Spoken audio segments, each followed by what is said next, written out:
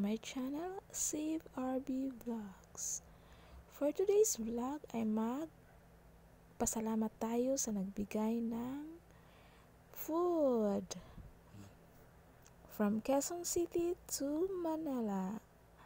Thank you so much Corix Vlog for giving me a food. Bawasan ko na yan guys kasi nga na-delete ko lahat yun na video ko pag ano. Kaya here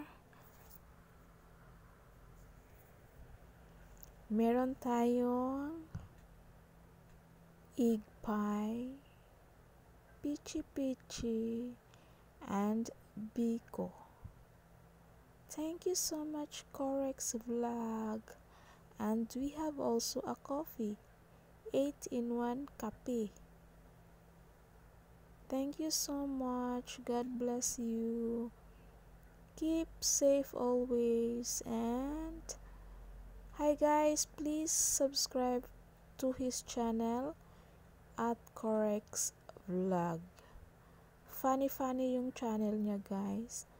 Please visit and connect. Thank you so much. So,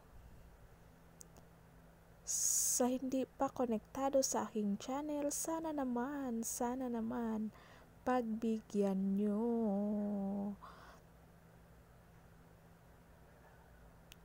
Pindutin nyo na po ang subscribe and ring the bell para naman updated ka sa aking mga upcoming videos.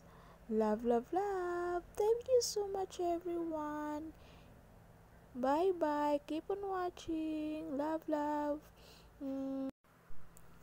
Ang sarap ng pichi-pichi, guys. Naubos ko na agad-agad. I think is 9 pieces yan. Ayun, ilan na lang natira. Kasi ang sarap. Favorite ko din siya. So, thank you so much, Corex Vlog, for giving me this kind of food. Alam mo mga favorites ko.